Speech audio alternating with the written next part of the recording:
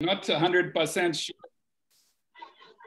that everyone here knows me, so I'll do a little bit of a introduction to myself uh, in my presentation because some of you might have you might know of me, but you don't really know much about me. But it's just a joy to be with you today. I hope you are safe and uh, you are recovering or you are preventing because we're in a people say it's the, the second wave, but I would say it's more like a tsunami that has hit Uganda of COVID. And uh, yeah, it's not an easy time, but we just thank uh, God for our lives. And we thank you, uh, we thank uh, God for this, uh, this family of friends that all of you have tapped into. And yeah, with those few words, let me just go straight into my presentation. Um, I'm gonna do a, a screen share and uh, it's a PowerPoint and at the end of the presentation, I'll, um, I'll give my contact. So if you would like it, um, just to review yourself, but also to teach because you know we, we look at you guys as leaders and many of you are leading small groups. So at times you need material to teach and you can get uh, some of these presentations that I give and pass them on to others. so the topic we are looking at uh, this afternoon is emotional intelligence. And uh, a book came out some years ago with that title, written by this guy, Daniel Goleman. Uh, the book is not easy to read. Um, but just the title alone captured people's attention like nothing else. And it became a, a bestseller because people saw that there was something behind it. Um, the guy himself, uh, later on, he came out with a book called uh, Social Intelligence. And he nowadays, he talks about emotional and social intelligence because uh, he realized the first book didn't explain things very well. But those of us who are attracted to uh, leadership, we're, we are basically in the people business.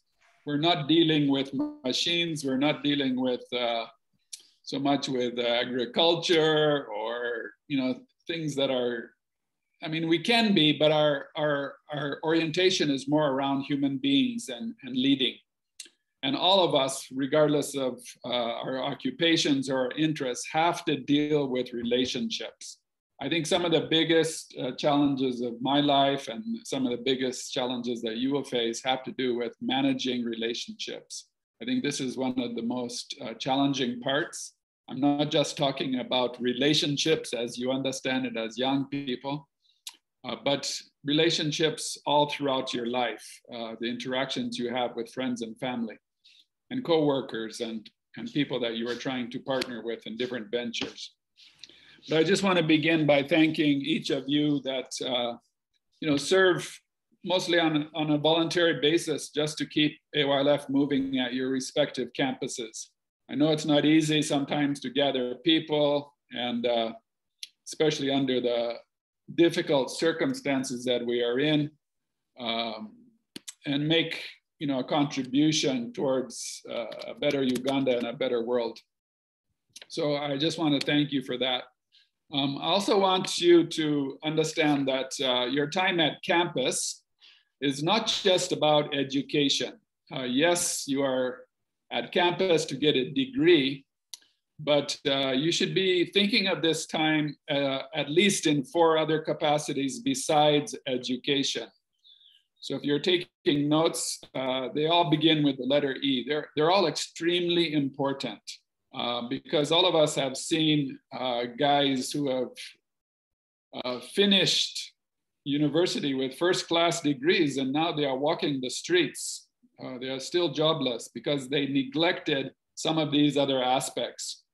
So when you're at campus, uh, four things you should be thinking about. Um, the first one obviously is education. You have to complete, you have to get your piece of paper, you have to have something to show for all these years you have struggled uh, to read and study and do exams. But secondly, aspect of exposure, uh, try to you know, join seminars, do side workshops, uh, participate in uh, conferences, anything that can give you a broader uh, scope of understanding of life beyond just the material that you are focusing on in your course. So exposure just means you're opening your mind, you're broadening your horizons. Number three, if you can at all get some ex experience by volunteering, even if you volunteer with AYLF, you can list that as, a, as an experience on your CV. But try to uh, get some experience, especially in the field of your study, because as soon as you finish uh, campus, the first thing people ask you is what experience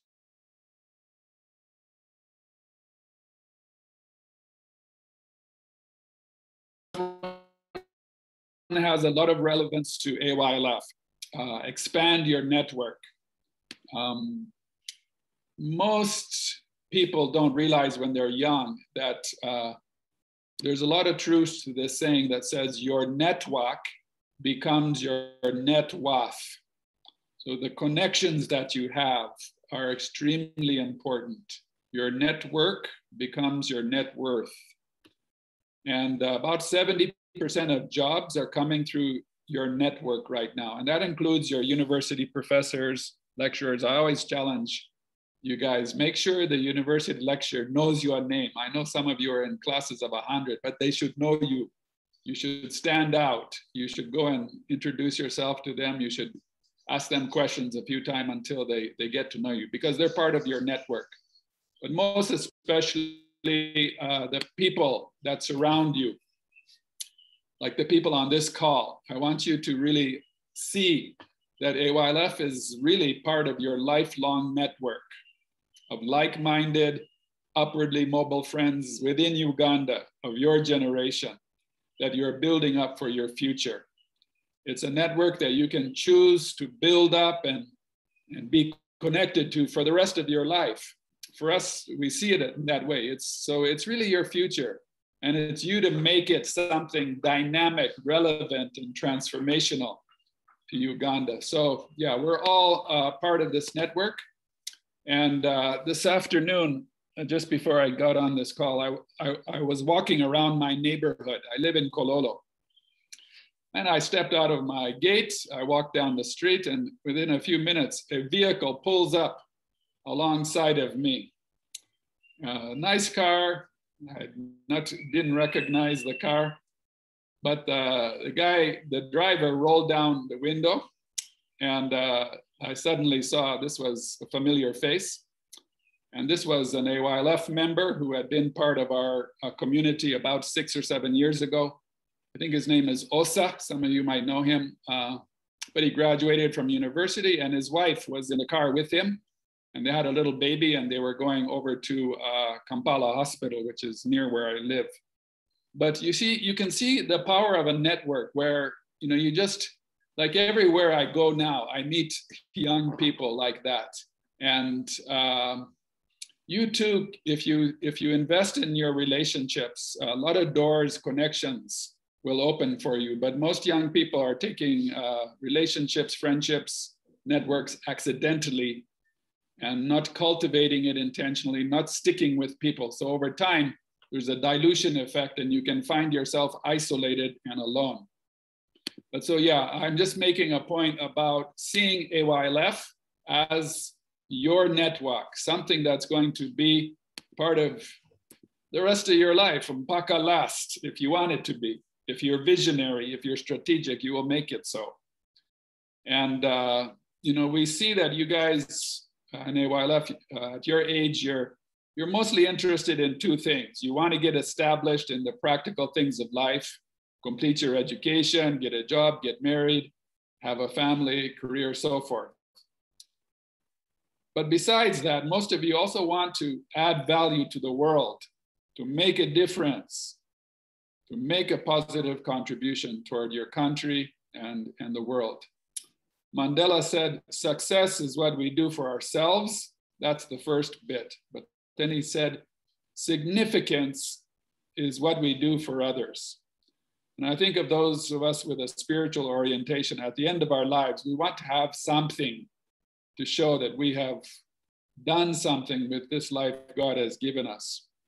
But both of these things will be enhanced if you try to uh, move through life with others and not just walk alone and be isolated. So look at your small group, look at the connections in AYLF as a lifelong network, and you'll go farther. Yeah, so also realize that at the university level, AYLF is just like an entry point to a, a long-term matrix of significant relationships. So after university, we invite you guys to stay connected in a small group with our alumni, Nathan and others run that so that you can keep sticking together, supporting each other, and inspiring one another as you move through the different stages of life. So yeah, see it as, as this network, see it as this family of friends. It's very rare, I would say, uh, among your peers in this generation. You can talk to them. You'll find you'll probably find that almost none of them have something like we have in this family of friends in this network. So a little bit about myself now. Um, I'm actually a dual citizen, Uganda uh, and US. And I grew up in uh, this region. I grew up in Congo and Rwanda, Uganda, Burundi, went to high school a bit in Kenya. I've lived uh, over 40 years in East Africa. I'm married uh, with two kids. They're grown. They have children of their own. So I'm a grandfather, a jaja. I'm also a co-founder and director of Cornerstone Development. And out of Cornerstone grew AYLF, but we spun it off as its own entity to a certain degree so that people wouldn't look at it as an NGO, but they would look at it as a movement. But it's still very much a part of uh, yeah, our our thinking, our efforts, our our people, our connections, it's all there to support this movement of AYLF. So I'm just going to keep uh, moving forward. This is my family. Um, my wife and I are locked down in Kampala, uh, but my son uh, on the right hand side with a red sweater and his uh, wife Danny. They they live here in Uganda, but they've gone back to the U.S. with their two little boys, who are my buddies. And we have a daughter who's also in the red sweater, uh, who lives in the states. She's married and she has a little boy. And so far, all of them have been uh, safe from this pandemic that has been uh, causing havoc all over the world. So when the boys are home, I do a little bit of homeschooling with them and it's been a joy to be in this stage of life. But my parents, uh, in the 1950s, before I was born, when it was still Belgium Congo, they went to Congo. And uh, they're in Africa for about five years, and they went back to the States for a year. And I was born during that time. They kept going back and forth. We would be five years in Africa, one year in the US. In this picture, I'm the little guy on the left, Timmy. We had uh, five boys and no girls in the family. When I look at my photo album, I can see from my early years, uh, I not only grew up in Africa, but I grew up with Africans. You know, there are some Bazungu who grow up kind of isolated in their own circles and, and friend and uh, community. But I was often in a rural setting and uh, I had friends right from early ages who were uh, African kids. But I left Africa for university as all of the children in my family was a tradition. When you finished high school, you went back to the States and you went to university and you never really had any plan to come back. And, and that was me. I went there and you know, us Africans, when they take us to the US, we don't want to come back. So I was there. But I, when I was in university, I started asking myself uh, some of these big questions of life that maybe some of you are asking at this stage. Things like, uh, what am I studying for? What is the purpose of life? What should I do with this life? And uh, it was like a time of questioning and soul searching. Um, and it kind of led to a spiritual reawakening that changed the course of my life. Um, basically, I was feeling like I should try and invest my life in things that have uh, value in a bigger scheme of things. I began to see one lifetime, you know, be it uh, 70 or 90 years here on earth as being very short compared to the incredibly vast and ancient uh, 14 billion year system we are, we are in on, on a small rock, the third rock from the planet, uh, third rock from the sun, in a small solar system, in an incredibly vast galaxy. And yet there are hundreds and millions of those galaxies. So I started to get this impression that uh, my life was something to invest and not just to spend haphazardly, consuming, enjoying, but to, use it uh, as, as like investing in, in, in a way that would give me a greater return in the future. And I could see from our scriptures that uh, there some teachings of Jesus indicated that the way that we use our talents is the way that we will be rewarded in the next chapter of things. So during that time, I got this idea that I, I should go back to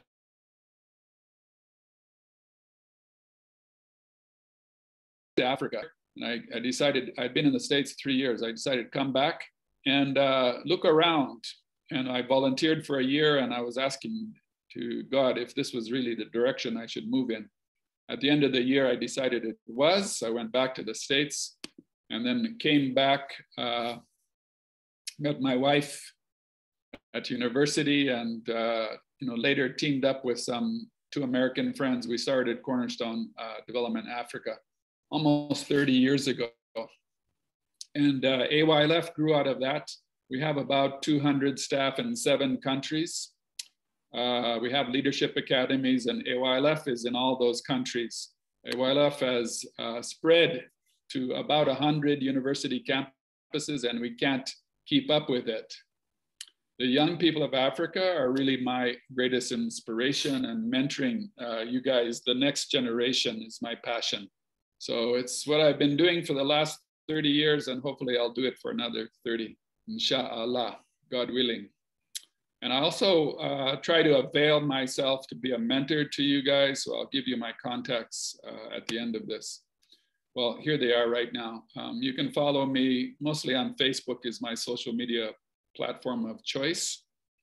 Uh, but then uh, that's my email address. If you would like a copy of this, I'll send it to you. Just my name, Tim Kreutter at Gmail. Okay, so yeah, as I said, AYLF has spread around the region. Um, this At this time of the year, we do mid-year reviews for all of our programs in East Africa, and we're doing it on, on Zoom. And the people in Rwanda were telling us that in Rwanda, 90% of the university student leaders at the top universities are part of AYLF. In Kenya, a similar kind of uh, situation where uh, the top university student leaders are joining AYLF.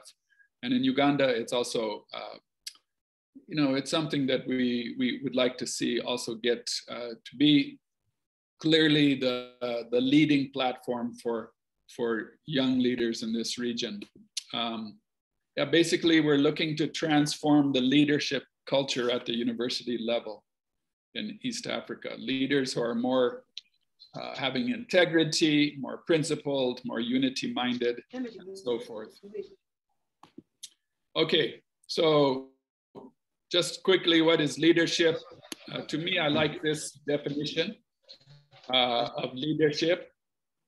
And uh, it says leadership is the capacity to influence others through inspiration, motivated by a passion, generated by a vision, produced by a conviction, ignited by a purpose. So a lot of big words there, but uh, this quote by Myles Munroe kind of captures the basic um, terms that often are reflected in uh, leadership. But today we'll be talking about this idea of influencing others. Um, and like I say, you know, being in this space as leaders, emotional intelligence is important. Um, and in AYLF, uh, you probably have heard this many times. But we are looking for people who will take up leadership, not not run away from responsibility, but move toward leadership uh, responsibility. That's number one. People who have good character. Number three, people who can maintain relationships, like I've been talking about. And people that can promote unity and reconciliation across all that is dividing humanity, be it religion, be it tribe, be it national boundaries. These, this is just ridiculous the way that human beings have failed to see each other as brothers and sisters because of race or tribe or religion. These are artificial constructs uh, that, God, that God did not create, but that we have created. And we think that Jesus uh, spoke to this when he said, Whoever, anybody who hears these words of mine and puts them into practice will be like a wise man who built his house on a rock. And he said, We should love our neighbors, we should love our even our enemies. So it's like he was calling us to come back to a recognition that we are brothers and sisters, regardless of all the divisions. So, yeah, we believe in you guys at AYLF, uh, and that's why we are investing. Okay, I want to get into the talk emotional intelligence. Um, all of us have come across this term called IQ. IQ stands for intelligence quotient. And it's trying to put a number that represents someone's reasoning ability. And it is measured by problem solving tests. So, you know, for a lot of times, everyone was just, uh, uh a lot of time, uh, a lot of time people are just looking at intelligence and whether they could pass an exam, whether they could reason, and whether they could be uh, recognized for having uh, problem solving ability. But then people realize that there are some of the people in society have this in big quantities, but they're still failures in other areas of life. So people started to think that there must be something more to success and significance than just someone's uh, mental intelligence. So in AYLF, material, you, you might have come across this diagram. And in this diagram, it shows four basic areas of life. And in it, uh, we see that there is a mental area, that's IQ, but there's a spiritual area, and there's a social area, and there's a physical area. In the physical, we talk about the biology and the financial. That's uh, combined into both the physical area. And you can see that uh, these circles are meant to overlap. And a well balanced person who experiences well being is someone who has learned to cultivate healthy habits in each of these four areas. So you could put it this way that there are four intelligences there's the spiritual intelligence, intellectual quotient intelligence, there's emotional intelligence, and there's physical intelligence. Quotient just means a, a degree or a quantity or an amount of a particular thing.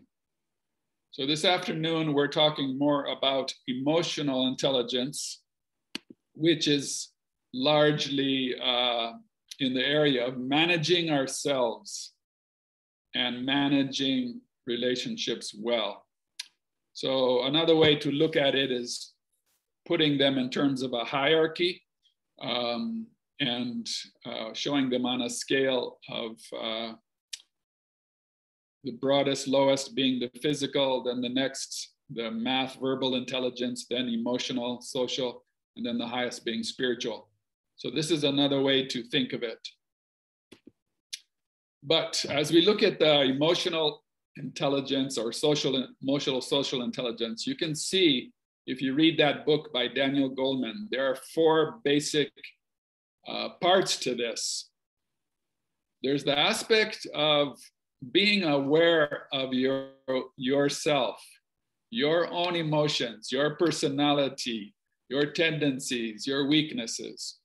That's some people can't even see themselves that way, but that is self-awareness.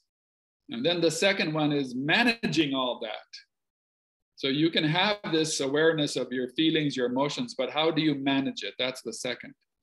Then the third part is learning to tune in to what other people's emotional states are and uh, looking at how they are doing and, and what's bothering them, what's disturb, disturbing them. That's number three. And then number four is learning to work with them, learning to manage them, the social skills that you have. So number three is like empathy, the ability to put yourself into somebody else's shoes and, and imagine what they're going through. But then number four is how do you uh, relate to them well and how do you manage that relationship? And you know, here we have different personality types that come in, and we have different genders and different ages, and, and so there's a complexity that's needed for you to be uh, good at emotional or social intelligence. So yeah, these four areas, I'll repeat them again, the capacity to recognize the impact that our feelings are having on ourselves, self-awareness. Secondly, the impact to manage our emotions and the resulting uh, actions that come from emotions. Thirdly, the capacity to read or tune into the feelings of others. And number four, the capacity to interact skillfully, we would say compassionately with the people around us. So that's really the heart of this uh, material of emotional and uh, social intelligence. I want to talk a little bit about this one of self-awareness. Um, in the AYLF material, we also have this idea that there are four things that separate a human being from an animal. And the more you cultivate these four things, the less of an animal you are, and the more of a refined human you become. So these four things that differentiate human beings from animals are number one, self-awareness. The capacity to like almost stand outside of yourself and to see yourself the way other people are looking at you. A human being can do that to some degree. An animal cannot do that at all. Then conscience. Conscience is like a, it's a internal compass of your morals and values that that signals you when you are going off of your values. And then number three, freedom of choice. You have the ability to choose to a much higher degree than an animal. You have ability to choose your, your responses to various stimuli.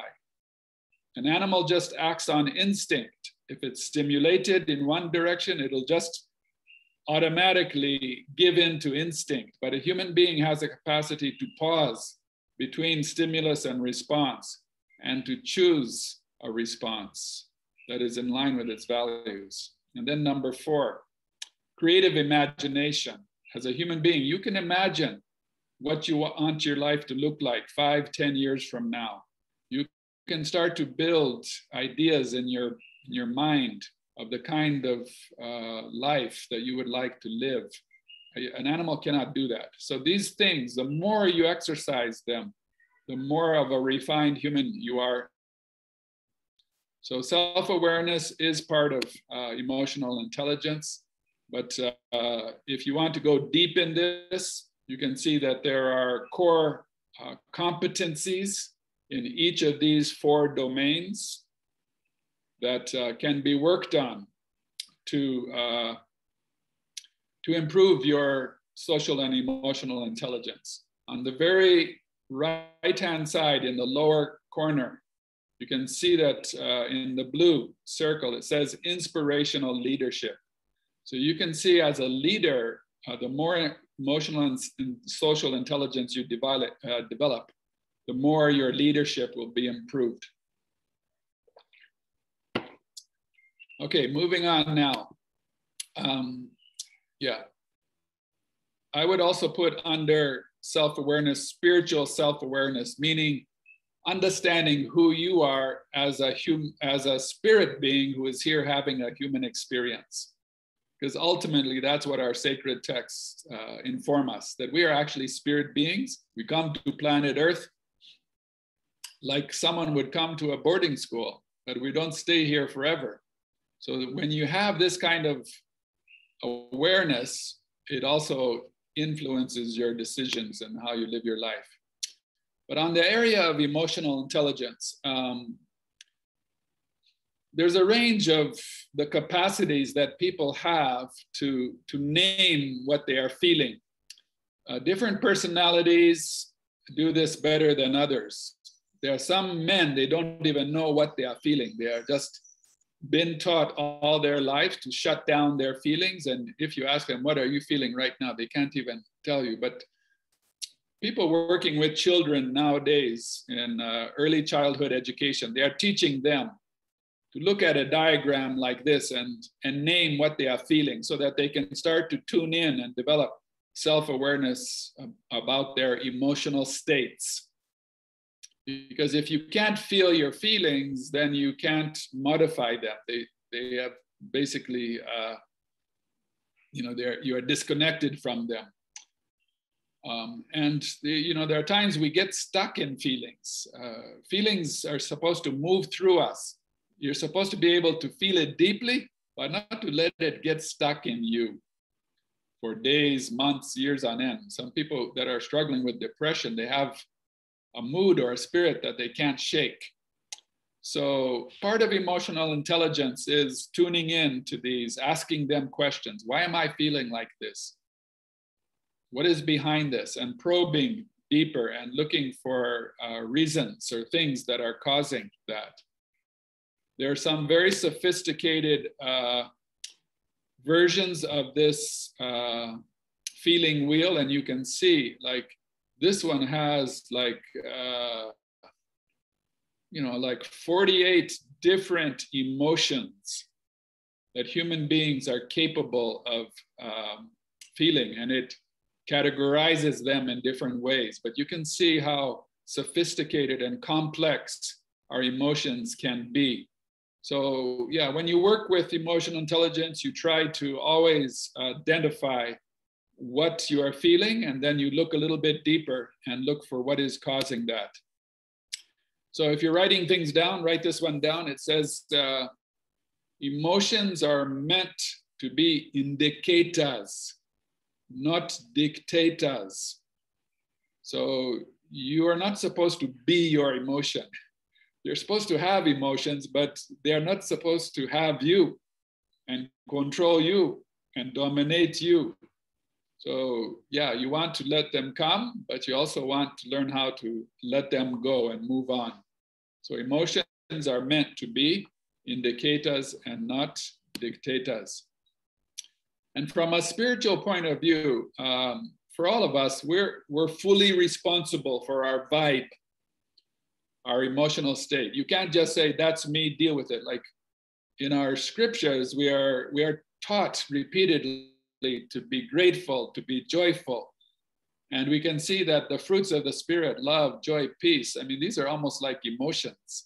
And so we're supposed to cultivate the ability to stay in a high vibe state and not to get uh, controlled and overwhelmed and lost in lower vibe states. There's a lot of uh, techniques that you can use for this uh, self talk, positive thinking, a lot of it depends on what you are feeding your brain on. If you're if you're if you're tuning in and looking at all the latest conspiracy theories about coronavirus and people are telling you you're going to die and like you're going to basically allow fear to get into your life to such an extent that it controls you. So you have an ability to to modify that and to work with it. You're not supposed to just be a victim of it all. All right, and yeah, a lot of scripture speaks of this, like Jesus would say, in this world, you're going to have a lot of tough situations, but be of good cheer, keep your vibe high. You see all these verses like rejoice always and take every uh, thought captive and whatever is true, whatever is noble, whatever is right, think about these things rather than just allowing your mind to be a dumping space for a lot of rubbish if you allow that to happen, don't be surprised if a lot of negative emotions start to take up residence in you. Another thing you can look at is what, what is uh, being called triggers. A trigger is, uh, you know, when something small happens, but you bust out, or something small happens and it, you suddenly, you know, you feel this emotional weight coming on you. It's like it's a reminder that there's still some trauma that's unresolved. So a trigger is is like a it's like an overreaction to anything. It could be a memory, could be something somebody says, it could be something you see, and suddenly you are reminded uh, of uh, an unresolved trauma or a wound, and it it provokes an emotional reaction that is far beyond what the immediate circumstances should dictate, but you just bust out. So a trigger, if you have it, uh, is a, therefore an indicator of an underlying wound or a hangup that we, we have. And you can work on this with a counselor or you can work on this with friends. The more light that you shine on it, the, the trigger comes out of the shadows and it's neutralized. But the, as long as it stays hidden in there and you haven't really looked at it, you haven't spoken to it, you haven't talked to it, it will keep uh, hidden in the shadows and keep disorganizing itself. But any kind of the light of awareness that you bring to it helps to, to, to, to reduce it.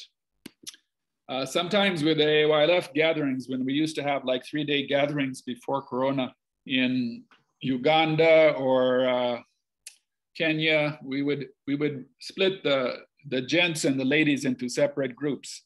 And you know, sometimes men don't want to open up. But one thing we could see over these gatherings, we've been doing this work for 12 years. So we have some experience that whenever you ask boys to talk about their fathers, oh my goodness, they many of them start crying.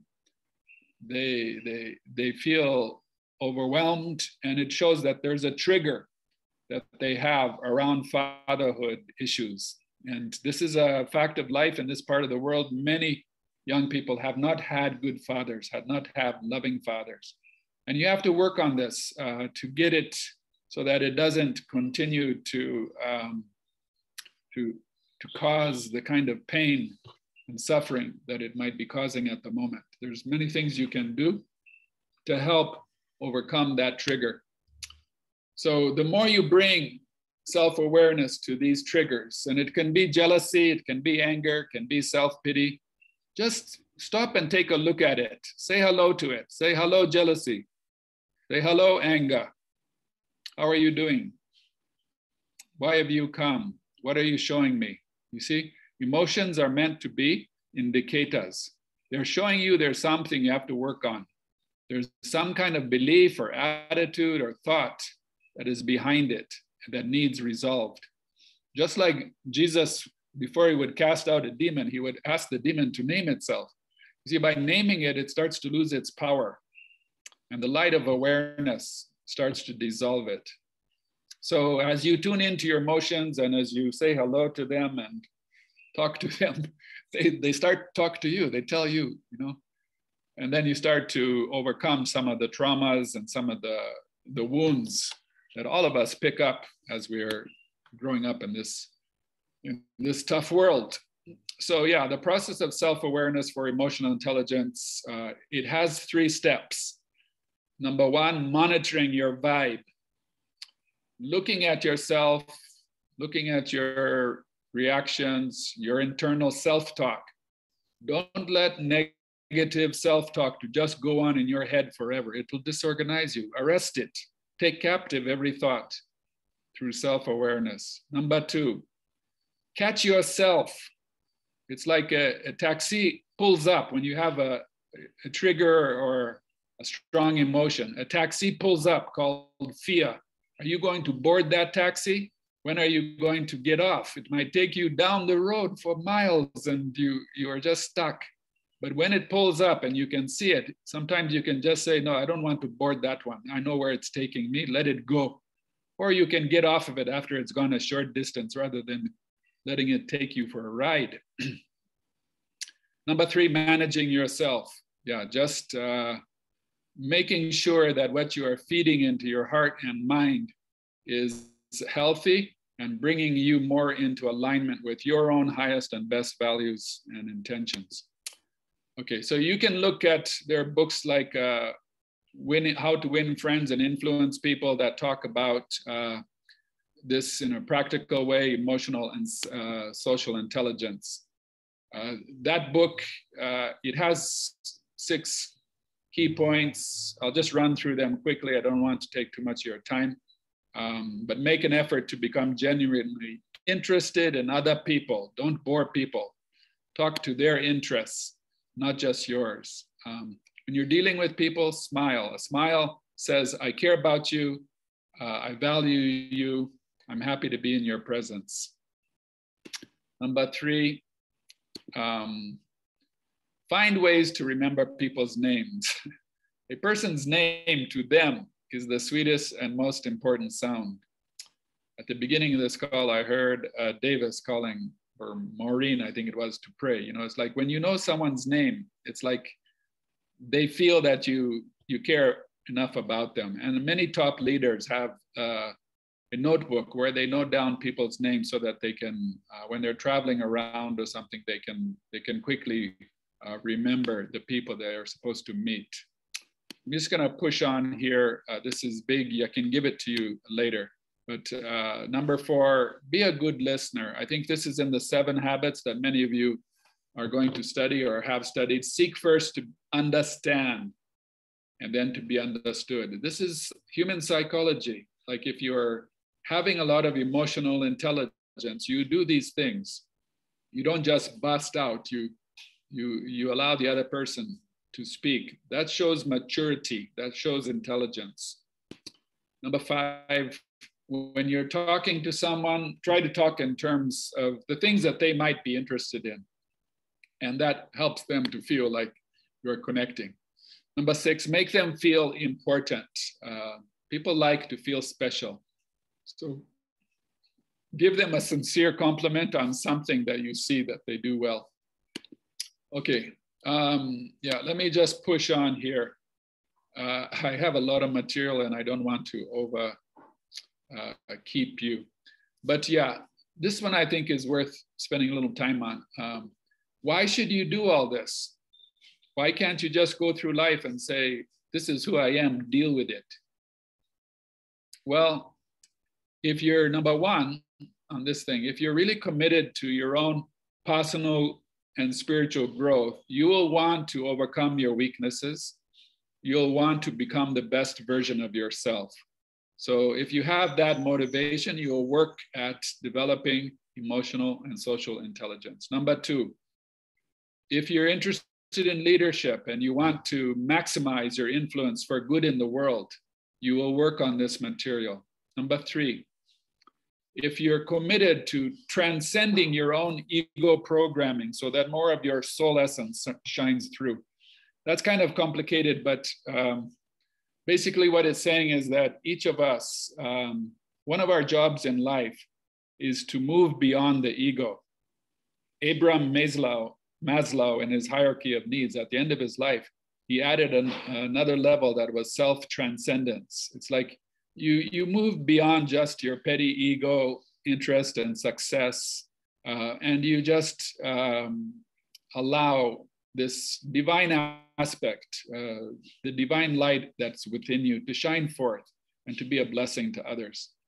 Number four um, emotional intelligence and studying it helps you to love people better. It helps you to love those that you uh, live with and those that you work around. Because the more you understand someone and you see what is making them maybe behave the way they're behaving, you develop compassion. Like if you see somebody who is, is really a, a pain to live with, I bet if you looked at that person when they were a kid, you could see how somebody mistreated them, somebody hurt them when they were little, and that's why they developed into this nasty personality. So there's a there's a level of compassion that also comes in um, and love for others as you start to grow in emotional intelligence. Okay, uh, yeah, self-awareness. How do you get to know more about yourself? at the top of this pie chart, uh, there's information you can get just through your own self-reflection and uh, introspection. But on the, on the lower left side, there's something that these small groups that you're in can help you with. You know, when you're in a good small group, your buddies, your friends can show you aspects of yourself that you haven't really seen. You know, there's a part of all, of us that we are blind to. There are blind spots we're having, and a good small group helps to, to show you that there are things that uh, maybe you're not seeing that you could uh, possibly need to work on. And then the, the, the lower right uh, triangle talks about spiritual intelligence. There's a way that you can inform your sense of self by studying things from a spiritual perspective. And you realize what is a human being and why are we here? So these are all things that basically build up your self-awareness. And the more self-awareness you have, the more you are becoming a human being and you're not a robot, you're not an animal. All right, um, now there's one other thing, I'm just gonna throw this out to you, but it's a tool that can really exponentially increase somebody's self-awareness and awareness of others. There's a tool out there. I've used this tool for 30 years. It's not easy to grasp it, but if you can get it, there's a lot of good that you can come uh, get from it. A lot of people don't like to do it because it's a bit painful. It, uh, it shows you who you are underneath. And it's painful because it's sometimes hard to look at ourselves very honestly. But there's a book uh, called The Enneagram that uh, is uh, personality types. There's really only two uh, personality types out there, uh, systems. There's Myers-Briggs and there's the Enneagram. The Enneagram has more like a spiritual component to it, where some of you might have already come across Myers Briggs. So these are personality typologies. And if you're dealing with emotional intelligence, you need to really understand your personality, your type, its strengths, its weaknesses. And secondly, you need to understand that the, the wiring system of people that are around you. Enneagram comes from a word, uh, Enea means nine, and then gram means uh, mask. So there are like nine masks. There are nine basic types uh, that this book, I can send a PDF uh, of this to you also if you send me an email. You can start to study it because this is uh, a tool to develop emotional intelligence by understanding your personality type and starting to study and understand the types of other people. Um, so it, as a tool, it enhances the, the top triangle and then the triangle on the left, your own personal intelligence and then your social intelligence. So it starts to show you if you identify which type you are, uh, your wiring system and also the wiring system of people close to you. All right, I'm just gonna push to the next type. Okay, so I mentioned two types, Myers-Briggs and Enneagram. These are tools. If you want to go deeper with emotional intelligence, you need to study personality types because no human being, two human beings are the same. There are categories of personalities that are similar, but you can't use a one size fits all when you're a leader or when you're putting together a team. You have to have the ability to combine different personality types together to get the uh, to get a really strong, effective team. So as a leader, these are some tools. But the Enneagram is the book that I'm most familiar with. And like I said, I'll send you a PDF of one of them so you can begin to study it.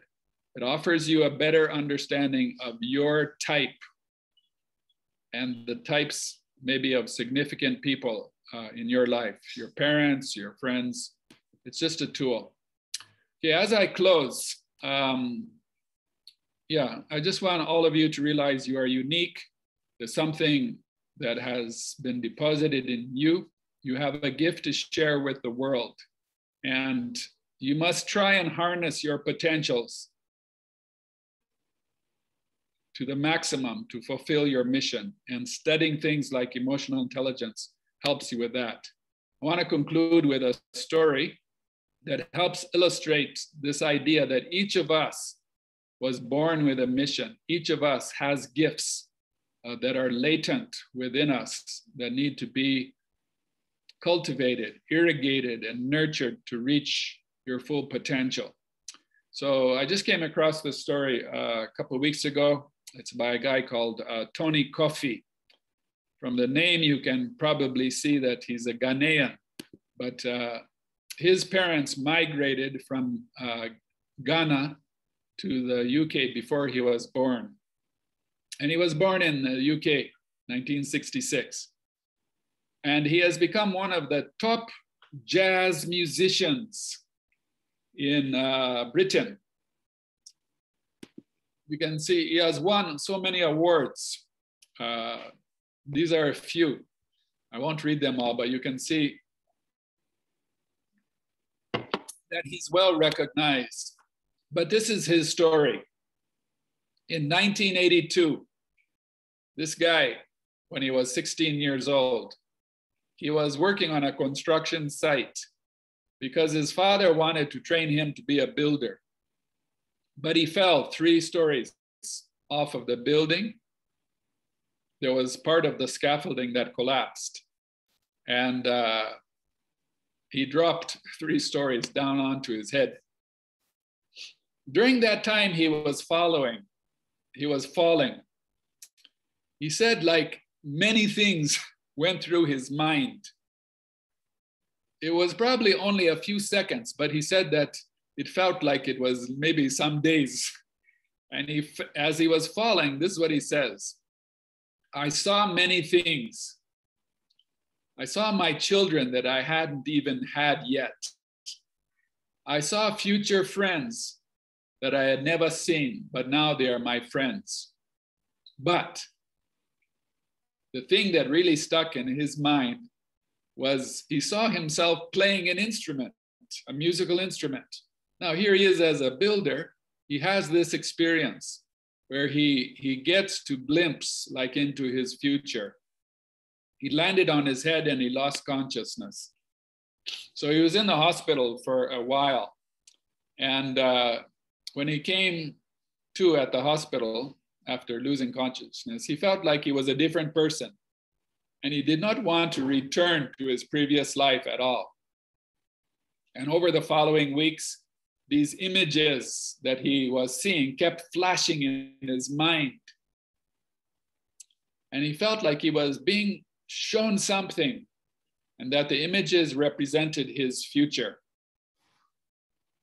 So when he got out of the hospital, the, the, the company that he was working with gave him some compensation money, uh, money for that injury. It wasn't much, he said, but with the money, he said he's going to use it all to buy this expensive instrument, which is a saxophone. And he used it to buy this thing that he had seen in his vision as he was falling. He told his parents that he wanted to do this, but his mother put her hand, her head in her hands and said, Don't do it. Nobody makes a career from music. So she was just upset. Then the father told him that he has to get a proper job and but he himself asked his father to just give him a chance and he would prove that he could do it and he began practicing. He said he started out five hours a day, then he went up to 10 hours a day practicing, practicing, practicing. Now he's famous in the UK as one of the best uh, musicians. Now, I'm telling you this story because in each of you, there is a saxophone, there's a song for you to sing, there's a music for you to play. Tony was fortunate in that he you know, he saw it. It almost cost him his life. But if you could see it, you would see that there are many good things that God has planned for you. Of course, we have to, most of us, we just have to fumble our way and figure it out. But if you keep doing the best you can with the opportunities that you have in front of you right now, this greater vision, this purpose, this mission that you were born to do will unfold of its own accord as you continue to set your intention to serve the greater good and to do the best with what you have been given. So never forget that there is something within you. You have a gift to share with the world. You must try and harness your potentials to your maximum to fulfill your mission. Yeah, so God bless you guys. Thanks for your kind attention and love to all of you. And back over to uh, Mr. Davis Gatete. All right. Uh, thanks, Uncle Tim. Uh, before you go, I'm just going to, I, while you are speaking, I asked people to write their questions in the comment section. So I'm going to read, uh, I think, one at a time so that you respond. And then I read another two if you don't mind. Uh, so let's start with, uh, let's start with uh, Maureen. Maureen Atim is our coordinator for Lira University. And she said, I have always been haunted by the thought that I have to use my life to accomplish something beyond me. Sometimes it seems overwhelming that it even scares me off my course. I feel lost and start to worry if I will even ever manage. And you will answer that with this one from Edson from BSU, who says, Uncle Tim, sometimes you understand yourself emotionally and you really find that some certain character in you is very difficult to change and it makes people feel bad. For example, being bold and open. How best can you let people understand you? Okay, let's uh, let's tackle those two. Um, I would say, Maureen, that it's it's actually good to have this feeling, uh, the feeling that you have to you know, to use your life to accomplish something. That, that's coming from your soul. If you don't have that feeling, there's something dead in you. But if you have that feeling, it shows that there's, there's something that is crying for attention. Now, the problem when we are young is that we just can't see where the thing is going. And you get so many challenges and frustrations and you know you have these big dreams and things don't seem to be working out like on this call right now, we have about 50, 60 people. I'm sure in this group, uh, you know, maybe there's five of you, your, your dream is that you're going to become president of Uganda, but you know, there's only one chair. So what does that dream mean if you're having this dream and it doesn't work out? And well, you see, when you dream to become a president, symbolically, your soul is telling you that you are meant for bigger things you may not end up as an actual president of a country, but you are meant to take up responsibility. You are meant to be a leader. You are meant to, to be somewhere. You get it. So you, you cultivate that dream. If, if you have this dream of being a president, you hold it and see as far as it can go, but, but understand it symbolically. Now, somebody else can have a, a dream that they're supposed to be a pilot and you know, Uganda only has like three planes. So how can you get uh, 300 people and they're all dreaming to become a pilot? Well, if you have a dream to become a pilot, what that is saying symbolically is that you want to fly high in life. You want to go places. You don't want to be stuck in some village. You know, so you take it symbolically. Yeah, maybe you will become a pilot, but if not, you will go far. You will you will fly high. That's the real essence behind it. So Maureen, just hang, hang on to it. Uh, all of us who are older, when we were your age, we were also fumbling in the dark and trying to figure things out. But if you focus on the step and you are faithful for the little thing that God has given you right now, then the next step will open, then the next one and the next one. And you see yourself climbing higher with time. But most of us are not like this guy, Kofi. We don't see that where things are going and we can get discouraged and we can make wrong decisions that have big consequences. So just Maureen, stay strong, be faithful in the small things and the other steps will come. You don't have to see the whole staircase. Just focus on the step that is right now in front of you. And most of you, it means your education and, and the, the responsibilities uh, you have at this stage. So Edison says sometimes you understand yourself emotionally and you find that some certain character in you is very difficult to change, although some people feel bad around you. Okay, so this is another good one, Edison. Yeah. So part of emotional intelligence, you can see the first part is being self-aware. That's what you have. Edison, you have already developed a level of self-awareness. Just to think that way shows me that you are understanding yourself. But now, hmm, now the thing you have to do is to manage yourself. That's the second. You know, I gave you, there are four steps to emotional intelligence. The first is to understand yourself, but, but the second is to control yourself. Know your weaknesses, and usually to get healthier in the personality type, you move in the opposite direction of your natural inclinations. So if you're too loud and too bold, you need to move toward being a little quieter, being a little more respectful and polite. You know, you can, some people say, no, that's just me, deal with it. Well, if you take that attitude, you're not going to have very many friends left. They will leave you. So, all of us to a certain degree have to work on our weaknesses. If you're too shy, it means stepping up, being more bold.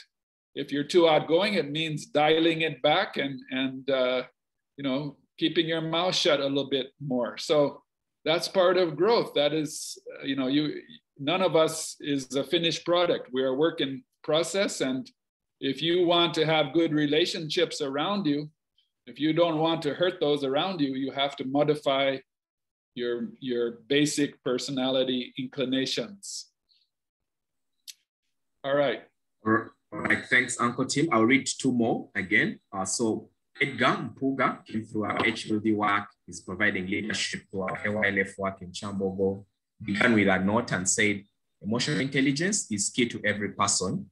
Then he says, mistakes are inevitable, but only those with high level of emotional intelligence tend to have the right reactions. And he asks, how can we use our emotional intelligence to help develop positive success in all situations, especially when angry and in intense situations among others.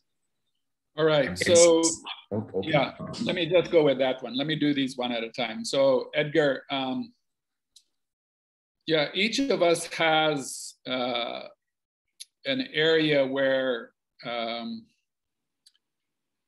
we tend to, let's say, have a weakness in terms of emotion. Uh, you've mentioned anger there. Um, I personally, my my personality gets angry when things aren't perfect. I'm a perfe perfectionist. So now I've had to learn how to uh, control my anger. Now, somebody else might have a problem with jealousy. Another person might have a problem with fear. Another person might have uh, a problem with lust. Like there, there are some strong uh, energies or forces that are specific to different personality types. The more you understand yourself, the more you realize like that is my weakness. So when you're in a tense situation and you feel anger coming up, you just tell yourself, cool down. There you go again. If you get angry, you're going to cause uh, a lot of pain to people around you. So there's a certain just a level of uh, self-awareness. The more awareness that you have the more experiences that you have where you blew it and then you had to deal with the consequences then it, it shows you how to modify. All right then i'll just move on. Sasha sanyu says uh, talks about living in harmony with some complicated workmates and people. Yeah this is a good one because there's what uh, what we call VDPs. You know what a VDP is? It's a very difficult person. They are all around us. And all of us have a few VDPs in, in our life. And some people might be looking at us as if we are VDPs. But uh, she's talking about in a workplace or in, in your house. How do you deal with such people? Yeah. So I would say the only way you can is by undertaking some studies and personality types.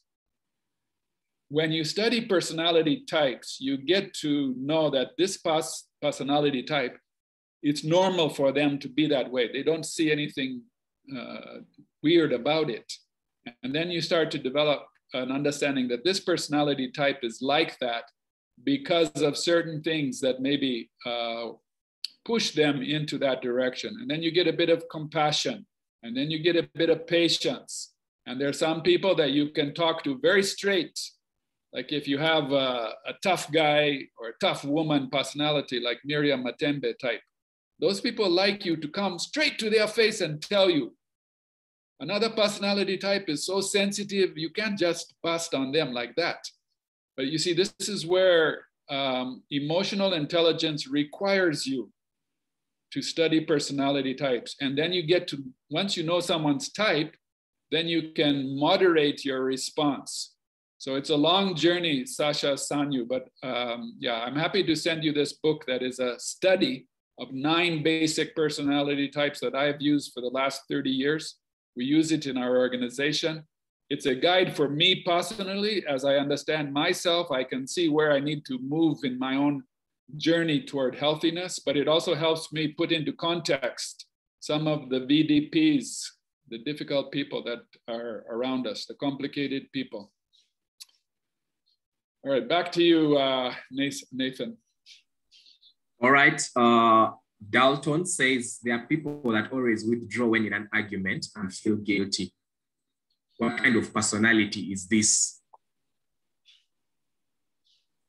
Okay, so yeah, the more sensitive you are, like I'm a fairly sensitive person. Like I don't like criticism, I don't like conflict. So the more sensitive person, they will withdraw. Other people, like uh, you know, in AYLF, we have Faiza. Faiza is a tough personality. They actually like it when you conflict with them, when you are straight with them, because they think you are being honest and they think life is a, a bit of a boxing match and it's normal. But then other people are so sensitive. You say one word, and for weeks they are still, uh, you know, depressed about it. So um, in the Enneagram system, um, usually type four and type one. But see, I can tell you that, but you're going to have to study the system to, to unpack it. Um, again, uh, Tony, don't send me your email. I see Tony Rubriza you guys send me uh, an email if you want the presentation and you, if you want that book, you send it to the my own email, which I'm putting on the thing there. Then I will send it to you because this thing which is on the screen is going to disappear uh, soon. But if you send me an email, I'll send you this presentation. I'll send you a book. It's a lifelong study. I've been studying that thing for 30 years and I'm still learning every day, but it has helped me to be a, the leader I am. And you can see in Cornerstone in AYLF, we have diverse personalities. That's good because some leaders, they only want people who are like them and then they have all the same strengths and all the same weaknesses. But when you appreciate and study personalities, you will build a team that is diverse, just like a football team. You cannot have all midfielders or all, all goalies. I mean, they will just be uh, useless. They have to have this mix. And that gives you appreciation and and compassion to deal with uh, people who are different than you. All right, back to you, Nathan. All right, uh, we have three more questions. Uncle Tim, do you have time to respond yeah, to those? Yeah, go ahead. Okay. Nimrod says, uh, uh, my question, Uncle, is what do you do to friends who think they are always right and whenever you try to correct them, they feel bad? All right. Um, Nimrod, I think, you know, the like all of us, there's, there's somewhere in the Bible that says, speak the truth with love. Speak the truth, but with love. So all of us, we have to work on that. Uh, I don't think it's good to keep quiet, especially in AYLF, in small groups. We give our friends permission to speak into our lives. That's rare.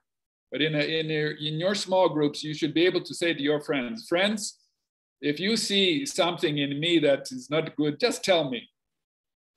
You give them permission to speak into your lives. But when you have maybe others, like you're talking about uh, Nimrod, Yeah, you just have to try and continue to speak the truth, be gentle, and do it with love. Yeah, they might still feel bad, but later on, I can guarantee you, they will tell you you have you were a real friend. Other people were just, you know, speaking behind my back or something. They will come to appreciate you, but try and speak the truth with love.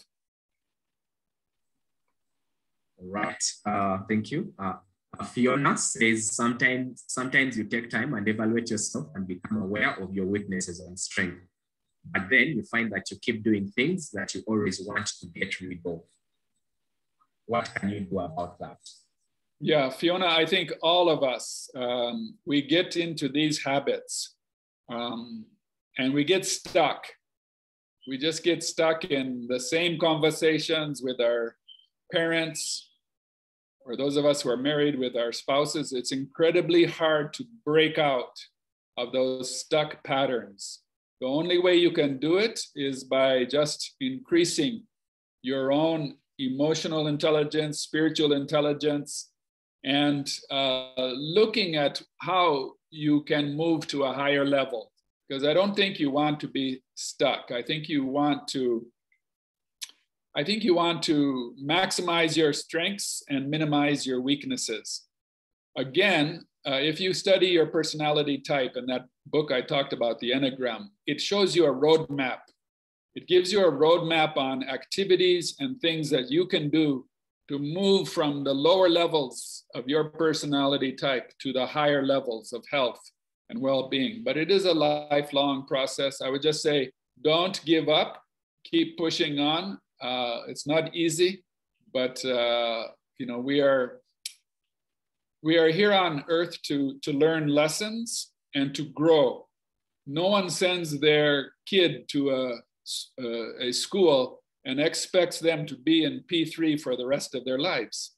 In the same way, God doesn't want you to be at P3 emotionally and spiritually the rest of your life. You're, he wants to see you move to P4, to P5, to 6, and even to secondary and university. So just keep pushing forward. Uh, life is difficult. It has lessons, and those lessons are designed to provoke spiritual growth. Right. Uh, Akelo Maureen, again, this, this one is similar about emotions, but I'll just read it if you have something else to say. Uncle some of us are overridden by our emotions. So please, how do we control our emotions, especially when it comes to relationships and people around us? Yeah, I would say that generally ladies, they're more emotionally sensitive. And then there are personality types that are very sensitive. And then, you know, to be frank, certain times of the month with ladies, their emotions are more on edge. So it is a challenge, and uh, there's no easy way to do it. But I would just say that, uh, again, write down that quotation that I gave you that emotions are meant to be indicators, not dictators. Emotions are good in a way. They are telling you there's something here to pay attention to. When you have an emotion, you ask yourself, why am I feeling this? Like it's an indicator, it's a teacher, it's a messenger, but it's not meant to be a master. So whenever um, Maureen, when a when an emotion comes to you, just say, "This is a messenger, but it's not my master. I have the capacity to choose, to focus uh, differently. I have the capacity to to shift my emotions and find what works for you. Like sometimes, what works for me is to listen to music. Uh, you know, there's a lot of emotion expressed in music, and when I'm in a particular emotional state that I don't like, I try and listen to music that takes me to another place that takes me to a healthier place. So work with different tools like that. Another thing I do is I like to take walks out into nature.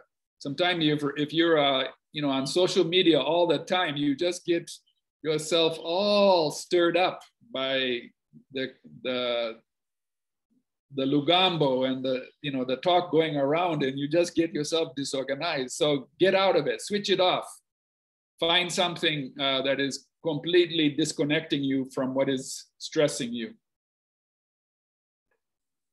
All right. Uh, there's still one, there's another one, Uncle Tim, if you don't mind.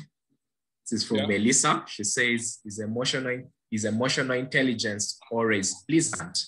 Are times when the best reaction will be unpleasant to the other person because it's sounding like acting very polite and humble always to every person? No, not at all. I would say not at all. Emotional intelligence doesn't mean uh, just being polite and humble. It means being wise. So there are times you have to be straight and strong and tough. That's also emotional intelligence. You know in each circumstance what is appropriate. You get it. So there are people that, yeah, especially certain personalities, they like it when you are strong. So they don't want these meek, weak uh, people. They just walk on them, you know. So if you're emotionally intelligent, you know, like in this context, I need to be tough. In this context, I need to be gentle. So that's intelligence. It's the wisdom to know how to respond given the circumstances that are around you. Right. Uh, I, am going to try and make this the second last, otherwise, we could go on and on till tomorrow. Arafat says, uh, how can one deal with a scenario where he inspires people around them, loving them, advising them, and the things work out, but personally things do not work out in their own favor? Uh, how best can a person heal from this? Okay, so Arafat, I think we all go through seasons when when things are just rough and the things are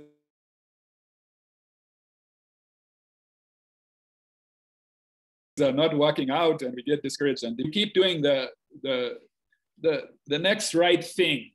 Like there are times when you can't see where life is going and you can't see where a relationship is going or you know the the the circumstances going but i can guarantee you if you continue to do the next right thing god will lead you out of that if you give up and you get depressed and you give it all up things will just get worse so when you're in a, such a situation, Arafat, just do the next right thing.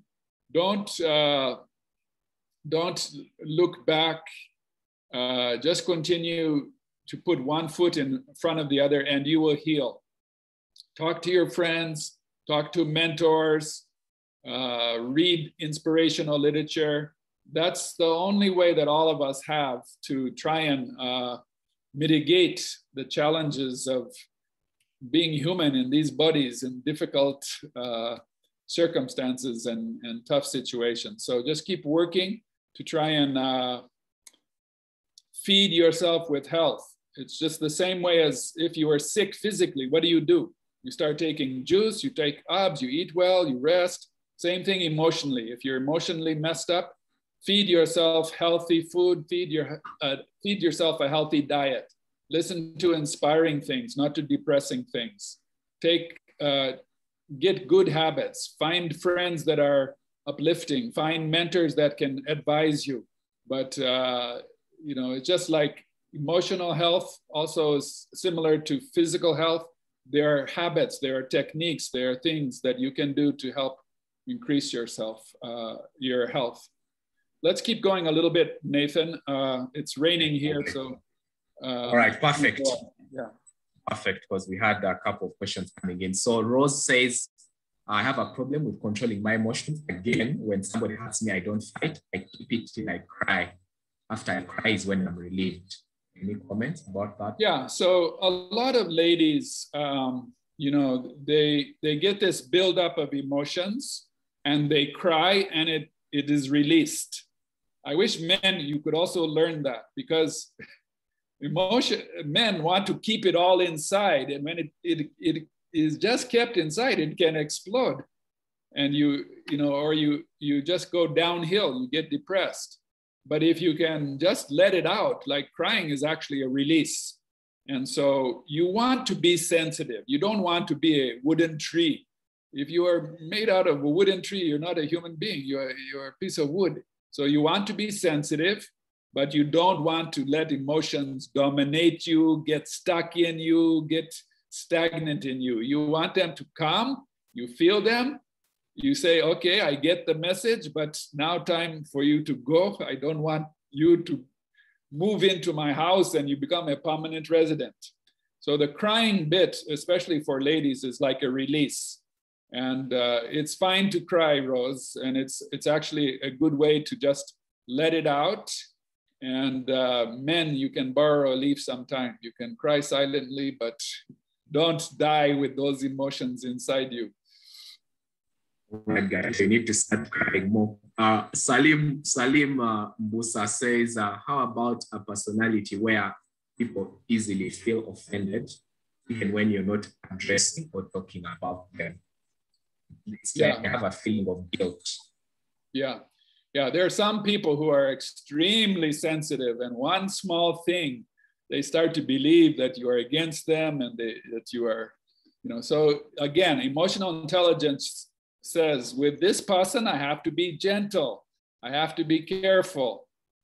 But with this person, I just tell them straight to their face. They don't mind. So with time, um, with time, Haruna, uh, yeah, emotional intelligence does not use a one size fits all in relationships. You understand?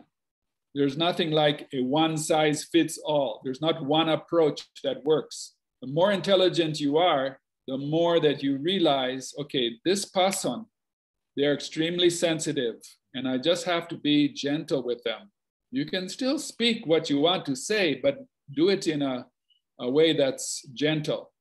Psychologists say that every time you say something negative to a person, you need to offset it with something like seven positives. So it takes seven positive to counteract one negative, you know. So try to also compliment them. Uh, if you have an issue that you say, okay, I need to talk about this person's problem, before you talk about their weakness, give several examples of their strength. Like you say, so and so, I love the way you do this. I admire you for this. I respect you for this. But over here, take a look at it. I think it needs attention. You see, so you you counteract. That's all part of emotional intelligence learning how to uh, communicate, learning how to relate in a mature way, not using one size fits all, reading the other person's personality, adjusting the way you talk to them. Right, thank you. Uh, Irafasha Bruno asked, when can someone get to know and be ready to give up? Because at times giving up turns out to be a better option than holding on yeah, I think you need to you need to try your best. Um, by the way, in, in the scriptures, in the teachings of Jesus, there was a formula he gave like when you're having challenges with someone, he said, first go and talk to them straight. And if they accept, then you leave it at that. But if they don't accept, go and talk to them with a friend. And if they still don't accept, bring it to the, the group, the family, the, the small group, and you discuss it openly together. So there is a progression, but then Jesus said, if they still don't accept, you leave them be for a while. So I would say there is a time of walking away when you have tried everything, and then you need to just give it rest and maybe come back to it uh, later. All right. Uh, then uh, Mercy Martin says, I have a problem with letting things go. It keeps hurting me over and over again. How do I deal with this? Yeah, letting things go is another word for forgiveness. Um, forgiveness is a way of uh, just not holding on to things forever. And I think, you know, all of us have heard this expression that when we when we hold on to bitterness, it's like a poison that we just uh, would want to give to our enemy, but we keep drinking up it and we poison ourselves the more. So there's a there's a lot of wisdom in forgiving, but sometimes deep wounds take longer to heal. So if you have been deeply wounded emotionally, don't expect it to go away overnight. Give it time.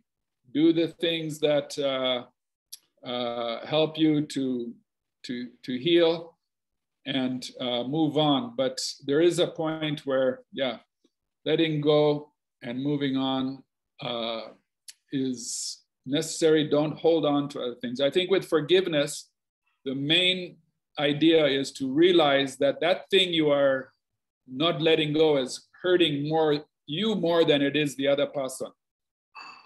So just for your own sake, forgiveness doesn't mean that what they did was right. Forgiveness just means that I'm not going to let the wrong that happened continue to hurt me forever. So it's like self respect, it's like self love. You're saying, for my own sake, I'm just going to forgive and move on. Okay, Ashaba Pauline has an interesting one. She says she has a problem in conversation with someone where she reaches a point and she gets stuck of what to say next. I think this is true for all of us, right? I think all of us, you know, there are certain, certain people you can talk forever, and there are certain people who can make conversation forever, and others of us are quiet. Like Pauline, I'm also a, relatively, I'm a quiet person. And, uh, you know, just realize that's how you are wired. Do the best you can. But uh, yeah, there are times when there's not much more to do. But if you can think in that moment of something that they're interested in, for example, if it's a guy, you could start talking to them about football and who they think is going to win the, you know, the premiership. Like the book uh, how to win friends and influence people has that point it says uh, throw questions to the other person based on what you think is their area of interest so when you don't have words to say throw a question to them that looks like something that they're interested in and just let them talk for a while All right. Uh, this is from Fairuz. Uh, Fairuz says, how do I learn to be a bit hard? By hard, she means tough because I'm a down to earth person and people just take advantage of that. I tried to be tough, but just end, end up, I just end up forgiving and ignoring. Okay, so Fairuz, that's both a gift that you have, but too much of a good thing can become a bad thing. So it's good that you are down to earth and people are comfortable around you. But emotional intelligence says, I also have to be strong at times. And uh, I think there's always a place for forgiving. I think, uh, you know, we're told to forgive 70 times seven. Uh, but don't ever let people take advantage of you. There's no place for that. When someone is taking advantage of you, you have the right to stand up and say no. Don't let people walk on you. Don't let people abuse you. That's when it's too much. So you have a good thing, you're down to earth, people are comfortable with you. That's your gift. But remember this too much of a good thing becomes a bad thing. You can't just continue in the area where you are strong. You also have to compensate for your weakness. And your weakness is saying no and not letting people take advantage of you. And that's your area of growth. All of us have different directions of growth, but I would just say, Fairuz, be strong. And just now that you have seen that you are being taken advantage of, before the next time you are taken advantage of, say no, walk away from that uh, situation, and never let yourself be abused. There's no place for that. Right, thanks. Uh, Lawrence or Tim says, I have a problem in controlling my emotions, but so I always decide to travel or take time, travel away or take time on social media in order to become released. Should I continue doing that? Yeah, I think so. I think, uh, Lawrence, like all of us have to figure out things that recharge our batteries. Uh, you know, find out, and they need to be healthy things because there are some things people can turn to. Like some people in the situation you are talking about, they turn to drinking. Now they're adding another problem onto the problem. So uh, if you want to travel or take time off social media, if that's what you need to recharge your batteries, do it. Obviously, you have to do it in uh, balance because you can't just hide from people but you know your limits, you know when it's getting too much and when you need to withdraw. And each personality type, again, is different here. Be realistic about who you are and what you need to cope with, with life. Other people can go through life bulldozing and they don't have to um, take time away because they are so tough. But those who are more sensitive, they need more time maybe to rest or to be alone or to read a book. For me, I like to walk in nature, you know, but find out what recharges your batteries in a healthy way and uh, use it as a way of uh, of uh, releasing and controlling emotions. That's emotional intelligence. Right. Uh, I remember Rose uh, asked and said, everyone, she, says she has a problem. Everyone around me fears me by my personality. In that even somebody like this, they are calling me on phone. People say I'm a, a complicated person. Okay. I do not yeah. know. So Rose, I don't see you here, uh, but uh, you are likely one of those very strong personality types. Um, I would get this book that I'm talking about, Enneagram, and look at type eight. Type eight is uh, the bulldozers of life, the, the, the people who are just meant uh, to plow through everything. They are very strong, but again, too much of a good thing becomes a what? A bad thing. And that's true with all of us.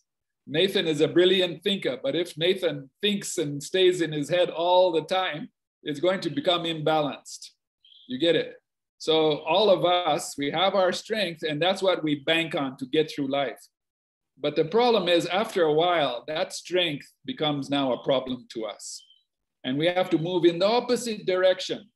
So, Rose, uh, you know, you are you're tough. If people are fearing you, uh, you are Enneagram 8. And what you have to do is to bring out the soft side of you, to bring out the compassionate side. I know it's there, but maybe life has forced you to become hard and tough. Now you're going to, if you want to be a leader, if you want to have uh, good relationships, now you have to apply emotional intelligence and move opposite to your strength. And for you, it means going to that softer, more feminine side, more gentle side. You just have to start to do it. There's no way out because if you continue the way you are, you will continue to turn off people and to alienate people. Uh, but if you cultivate the, you know, the gentle side of you, and you always, before you open your mouth, you you ask yourself, is this really going to hurt this person or not? and you speak in ways that is wise. Because a lot of emotional intelligence is just wisdom, knowing how to modify yourself in order to have good relationships with others. I think I'm going to stop there um, and uh, I'll let you guys uh, wind it up. It's been good to be with you. And uh, yeah, just send me an email. I'll get you this information. These are actually things you'll be studying all your life. We never completely master them. Uh, so just realize you're on a journey, but there are tools that can help you with the journey. Again, uh, don't uh, send me your email because I'll be jumping off of here. Uh, Bruno is complaining that my Bambi, my uncle, not answered my question. All right, Bruno. Bruno says, How do you deal with false accusations? How can I control myself when I'm not, I know I'm not wrong, but I'm being accused of the wrong that happens? Yeah, this happens to all of us. Huh? All of us, once in a while, we're accused and it's tough. You just have to, to swallow it. And uh, there's somewhere in the Bible it says, you know, if if this happens to you, you just prove them wrong like if you bust out and get angry at them and overly defensive, you, they'll say, you see, we were right. But if you just humble yourself, be quiet, continue to do the right thing, later on they will say, Bambi, we were wrong. Bruno, we were sorry. But you have to be able to just uh, show them by your actions. Whenever you're falsely accused, you have to show them that there's something different. You guys had it wrong. So just keep doing the right thing with grace, with humility, and eventually they will say, I think we were wrong about that guy, but it's not easy, it's painful.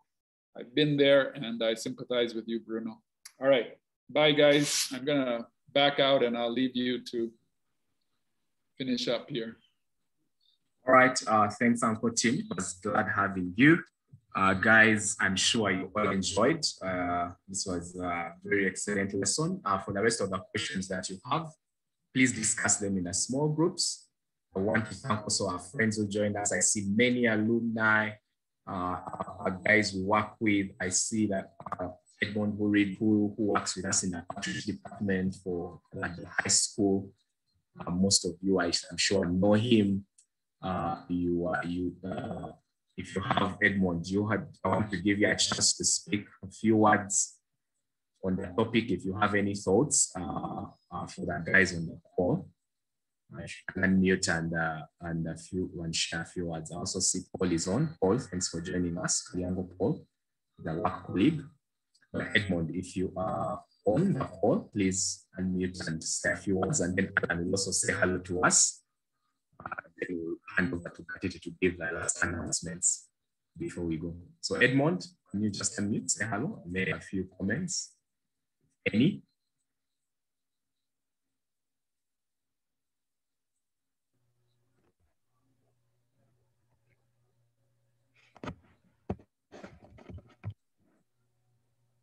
Hello.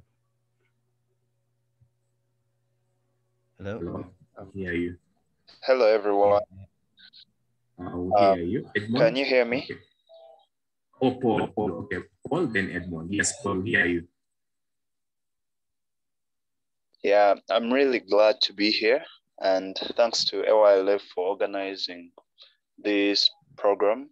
Uh, I've already seen it shared by Gatete that they would be having uh, a platform of sharing this. And I've always wanted to be part until I saw it on his status. And I was already late by around 30 minutes, but I'm glad, I'm glad I caught up.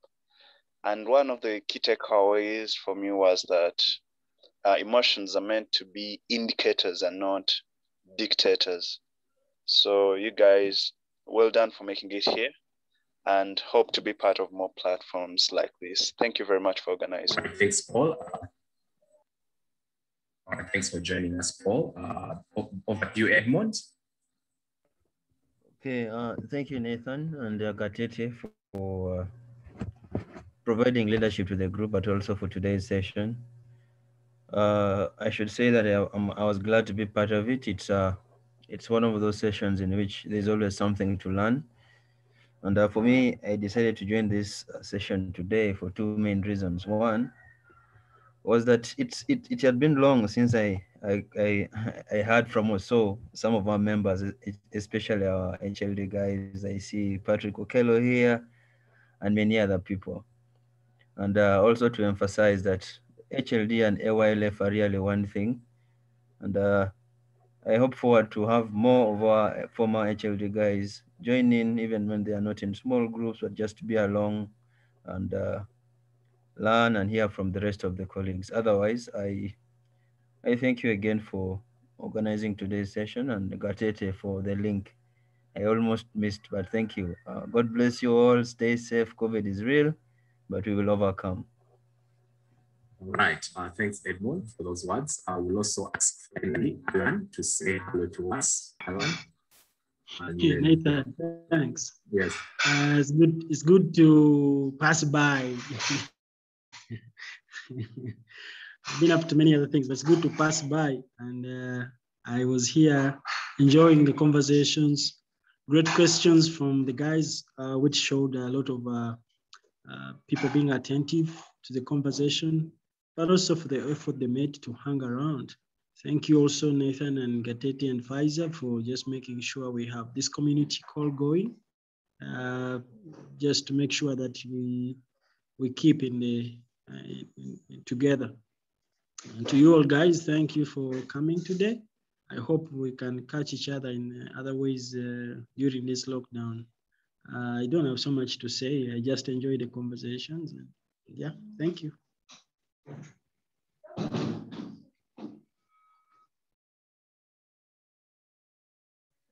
Nathan, you are muted.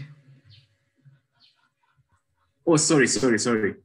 Yes, I was saying before I hand over to you, Gatete, I want to thank the guys for, for coming, especially those who shared the link with the, with the members of the groups and they showed up. Uh, let's do that the next time. Uh, when next week in your small groups, uh, please extend this conversation. That's the plan, really. I'm sure by then that it will have forwarded to you the, the slides that were used. For those of you who will not have gotten it personally, read through, understand, and extend this conversation so that you can help somebody out there. Yes, and then uh, the other thing that I wanted to say is that there are some of us who struggle with going on and off the call. So I'm just going to give you a tip. Uh, one, if you're going to join a meeting, make sure you are not on the, on the move because you always jump off and off on. Also, secondly, uh, do, do a simple speed test on your phone, whatever you use to join. Just type Google speed test, then find a spot in your house, in your room, in your home, which has the best uh, speeds, especially here with download speeds. You'll see upload and download speeds. See the spot with the best speed and sit there. You'll most likely stay on the call without having to drop on and off. Know that Gatete did the recording. So please share a link with our members so that whoever was dropping on and off can have a chance to, to listen through the whole of it maybe a second time. Otherwise, that's all from me. I'll hand over to Gatete. Give us a few announcements. We have an upcoming newsletter and a few other things. I'll let him give you some of these notices. Yeah, but thanks for coming and bye from me. Thank you, Nathan, and thank you everyone for attending. I am very sure we've learned something. Even if you you are on and off, at least you came in the middle when he was uh, saying something. Okay, so uh, we are all aware that we are supposed to extend this conversation to our small group discussions. And uh, I'm glad that some small groups are happening tomorrow. So this conversation goes on till next week on Thursday until Friday when we have another conversation. Oh yeah, no. So Friday will not have this call. We'll have our usual coordinators meeting on Saturday. Okay. So keep this conversation until next week on Friday, and then we'll have the coordinators meeting on Saturday. Uh, as Nathan said, we, we, we have our newsletter coming up. I just want to, to, to show you something small so you'll get the details when it is out. I um,